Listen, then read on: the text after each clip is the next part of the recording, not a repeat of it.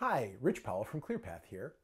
I'm going to tell you about one of the biggest advancements in clean energy and climate policy in over a decade the monumental Energy Act of 2020. Tucked away in the 5,000 page end of year omnibus was a bipartisan clean energy innovation roadmap. The Energy Act modernizes and refocuses the Department of Energy's research and development programs on the most pressing technology challenges scaling up clean energy technologies like advanced nuclear, long duration energy storage, carbon capture, and enhanced geothermal. Crucially, across all of these technologies, DOE is now empowered to launch the most aggressive commercial scale technology demonstration program in U.S. history.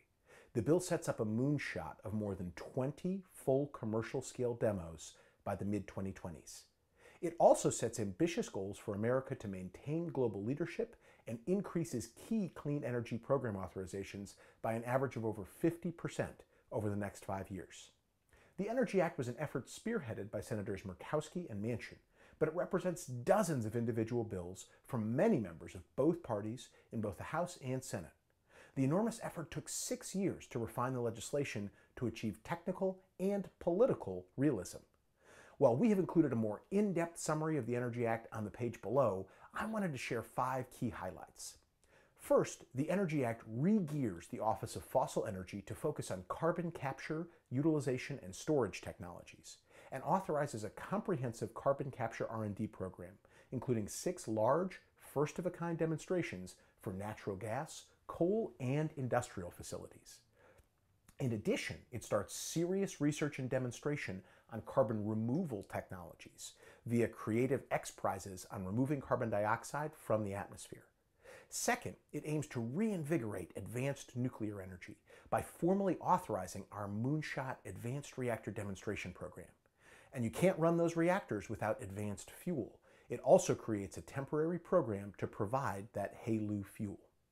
Third, the new law establishes a comprehensive grid scale storage demo program, effectively authorizing the Energy Storage Grand Challenge that Secretary Brouillette launched at DOE last year and that Secretary Granholm has committed to continuing, along with a joint initiative with the Department of Defense to develop long duration storage technologies and a program to provide technical assistance to rural and municipal electric utilities.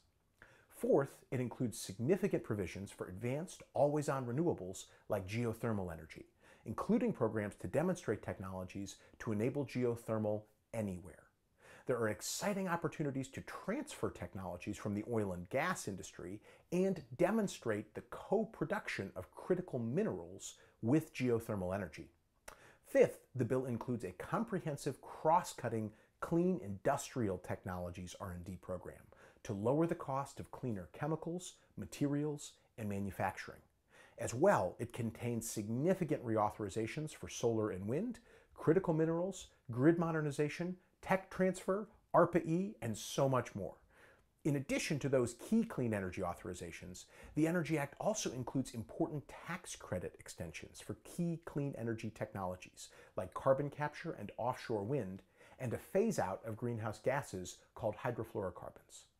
We like to look at this bill as a clean energy roadmap for the destination ahead implementation.